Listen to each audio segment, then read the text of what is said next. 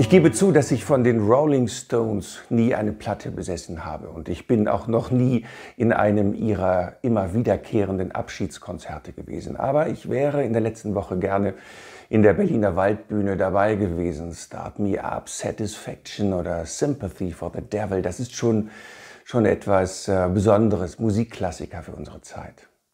Eine Textzeile eines Liedes von den Stones habe ich in meinen kleinen Schatz von Lebensweisheiten aufgenommen. Ich behaupte ja, dass man mit 10 bis 20 Leuchtfeuerworten ganz gut durchs Leben kommt. Und von den Stones ist es dieser Satz, er lautet, erst auf Englisch, You can't always get what you want, but you get what you need. Auf Deutsch meine freie Übersetzung,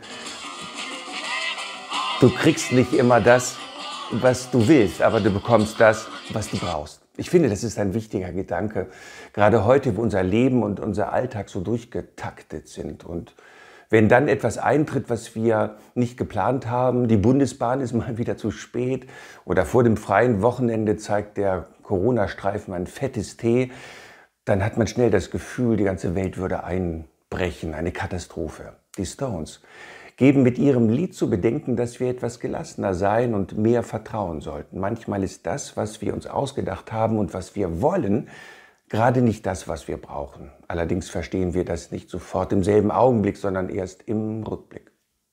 Mein großes Aha-Erlebnis liegt schon lange zurück und hat sich später in vielen Variationen bewahrheitet. Als meine Frau Rena und ich nach zwei Jahren in Südamerika zurück nach Deutschland mussten, hat uns der Regionalbischof nach Nienhagen geschickt.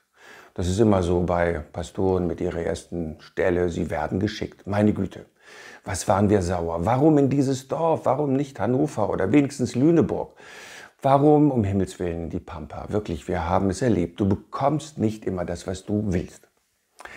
Aber ziemlich schnell haben wir gemerkt, hier ist es viel besser als gedacht. Es gibt hier nette und engagierte Leute mit einem weiten Horizont, eine tolle Kirchengemeinde, gute Kirchenvorstände. Es gibt zwar viel zu tun, aber die Arbeit trägt Früchte. Wir haben das bekommen, was wir offenbar brauchten. Wir wussten es nur nicht. Mein Appell für diese Woche, ach nicht nur für diese Woche, an euch lautet, glaube nicht, dein Leben würde perfekt sein, wenn du nur das bekommst, was du geplant hast. Es sind doch gerade die ungeplanten und unverfügbaren Momente, die unser Leben bereichern.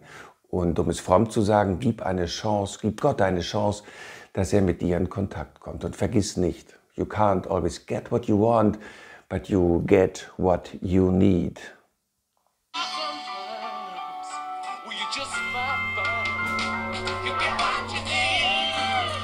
Bleibt behütet.